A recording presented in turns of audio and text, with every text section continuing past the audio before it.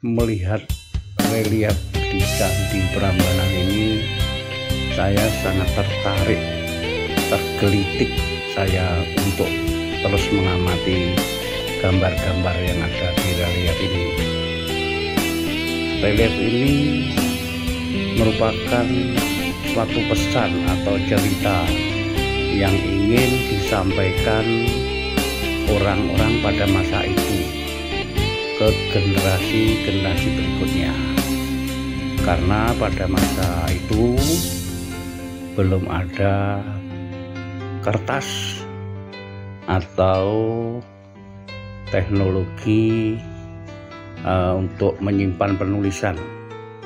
Bisanya hanya dipahat.